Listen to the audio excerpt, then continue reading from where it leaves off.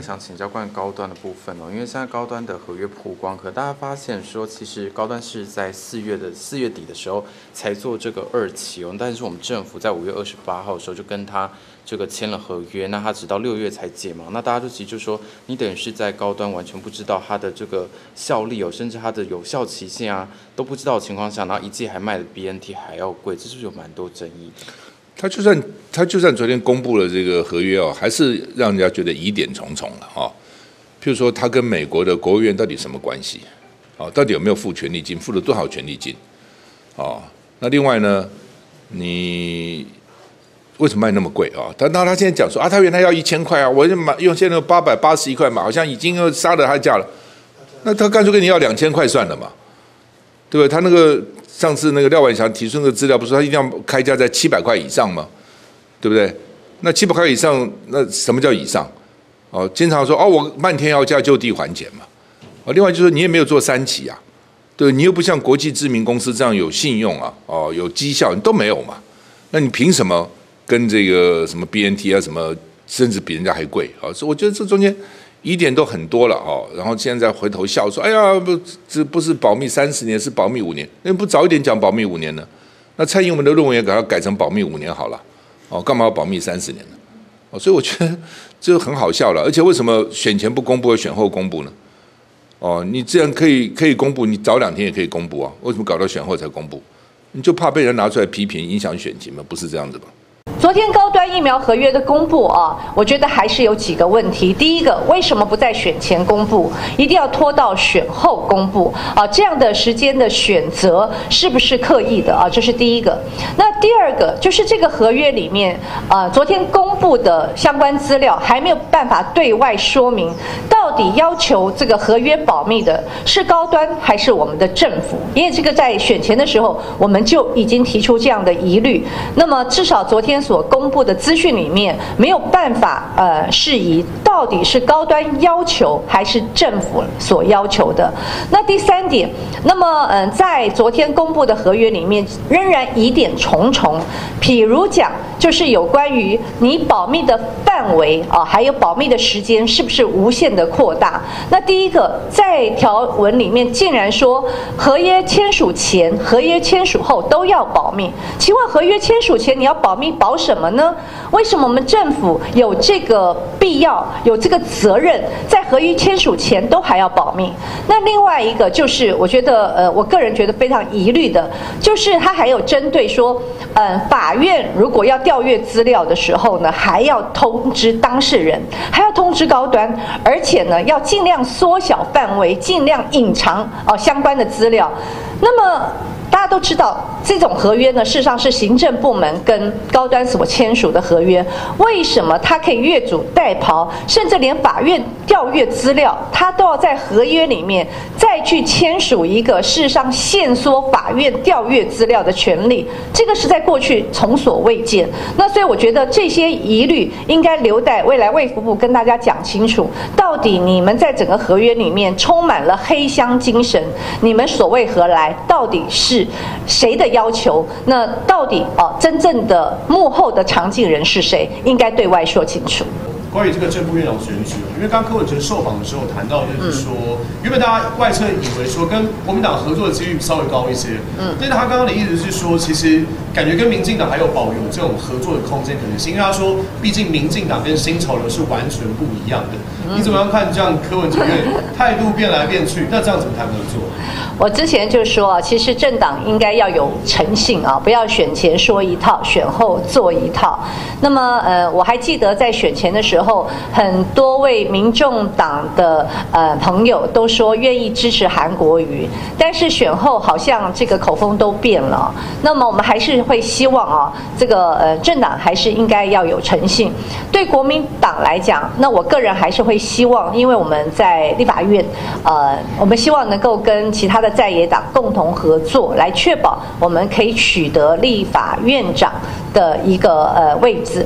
那但是如果最后民众党寻求去跟民进党合作，那我觉得民众党恐怕也要去跟他的支持者去呃说清楚、讲明白。那为什么他们选前说一套，选后做一套？就是他们开着这个条件，好，大家认为啊，有点像是黄花大闺，你要这个蓝绿去比武招亲啊。那委员，你会认为这样子，民党、民众党姿态这么高，国民党还要跟他们合作？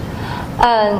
他们星期一民众党嗯召开记者会的呃四个决议，我个人是支持的，因为我觉得呃身为在野党，我们去支持国会改革，我个人是支持。那么嗯我也相信所有的政党还有我们的立法委员，没有人会觉得不要改革。那么嗯其实，在国民党呃尤其党中央在星期二也。提出了这个呃新闻稿，也做出了说明。其实对呃民众党星期一所提出的四大决议，其实也有善意的回应。所以，我们还是会非常希望民众党能够跟国民党来做合作。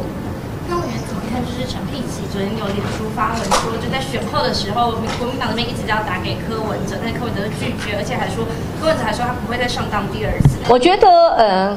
柯主席他要不要接谁的电话哦？这当然是他的自由，也是他的权利。那么至于他说呃呃会不会上当第二次等等之类的，那我必须呃非常嗯负责任而且诚恳的说，其实，在选前大家都记得那个蓝白河的所谓签订了这个六大的决议，那最后反悔的到底是谁啊？那呃所以。呃，我觉得柯文哲呃主席他要不要接谁的电话是他的自由，但是我觉得他对外说，如果呃真的他讲说他上当，那他是不是可以具体说他到底是上当了什么？因为经过这几天的讨论呢，因为国民党现在要立法院的院长、正副院长要推韩昌配，那你们自己的意愿是怎么样？韩国瑜跟黄国昌，然后赵少康也喊话说副院长就让给民众党吧。韩昌配是谁讲的？哎，就是传出他们愿意这个。然后像昨天有问到一些蓝营的人，他们也都对韩昌比较好，因为他们好像比较不信任黄珊珊。哇，这实在太有趣了！韩国瑜加黄，韩国瑜加黄国昌，这实在是，哇，这这这个这个画面很难想象啊。如果副院长让给民众党的话，你觉得这是可以合作的蓝白合方案？这个昨天他们黄国昌不是有出来开？前天吧，就是说重点不是哦谁谁要来当嘛，应该说你们有没有认同这种国会改革的的那个那个那个想法嘛？啊啊，如果愿意出要想要选人，就要出来说明的，说明一样嘛。候选人要有证件发表嘛，就是说哎你希望怎样？所以不急的，还有两个礼拜，给大家思考一下。那另外，在这个立院龙头的部分，因为民众党现在是关键少数，但他们现在选择盖牌，还出题说要蓝绿要选的人先把你的这个承诺拿出来，因为他们就出了四点，对，就说呃，可能院长要先同意这些才用。那赵少康是有在加码，还有一个国政改革，那怎么看？你认同他们的这个说法？呃，我认同黄国昌所提出的四点国会改革的方案。那我也认为国民党除了这四点之外，还要另外的加码。比方说，我们有发现说，国会的议员在跟我们的行政体系调阅资料的时候，他们经常开始用密件然后的方式不予提供所有的资料。举一个例子来说，当时赖皮聊国安人员到底这三年多四年以来花费了多少的预算在赖皮聊的身上，我们的政府竟然告诉我们，这叫做国家机密。国家机密保护法里面第五条清楚的载明了，国家机密应以最小范围而为之，但是却被现在的行政体系去做扩权，然后拿来去做成自己执政不利的遮羞布，这一点国会议员应该都不能够认同，而且这是不分党派的，因为不管你今天是民进党、是国民党、是民众党，我们在立法院里面就是全力的来监督现在的执政党。当执政党把国家机密拿来作为自己遮羞布的时候，如果立法委员同意了，那这就是阉割民自己的这个呃呃一个权利，那也阉割了人民知的权利。所以我认为，就是说未来。呃，除非真的是有非常极大的国家机密，否则立法委员向我们的行政体系调阅资料，都应该要尽可能快速的提供，而且公开透明。也有很多的立委跟我反映说，这呃大概七年多的期间哦，一些敏感性重要的资料，尤其是跟时事有关的，去跟行政体系要资料，他们都会故意的拖延。好，那拖延把时间拖过去了，这个新闻议题点减少了对民进党政府的杀伤力，他才给你。可这对于人民知的权利来说，也受到了时间上的延迟。那所以说，未来我们也要求说。呃，立法委员向行政体系去调阅资料，应该在最短时间内公开透明的来提供，那不要去滥用国家机密保护法。因为目前看起来，赵少康在昨天蛮早的时间点就提出了这个回应，对。但民进呃国民党这边是有率先回应，但民进党这边看起来好像没有针对民众党特别作为，是不是也是要赶快来争取？我想我们一定会负责任的提出我们自己的。议长哈，就是立法院长的人选啦。那至于说提出什么样的人选，那现在我想党中央这里还在规划当中。那我是新进的新科立委，那对于这些议事都还在研究的阶段。不过我想呢，大家在选举期间就对韩国瑜韩市长是寄予厚望，所以我想推出韩国瑜争取国会龙头的几率应该算是非常的高的。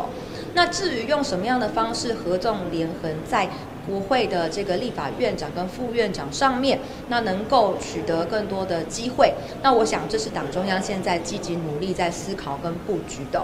那至于民进党对于民众党的方案是采取一个冷处理哦，那就可以看到他们对国会改革是一点兴趣都没有。那这个我相信也会让全民失望，就是说呢，才刚新当选而已，然后呢，在新的一届的国会的任期，竟然民进党对于国会改革无动于中，我们要知道，就算你是民进党的立法委员，你进到国会就是来监督执政党的。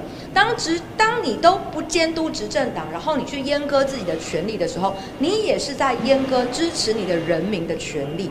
所以我相信，国会改革、行政改革是接下来不管蓝绿白在立法院里面都会去诉求的。那谁诉求的少，谁诉求的多，人民支持与否，我相信很快会反映在民调上面。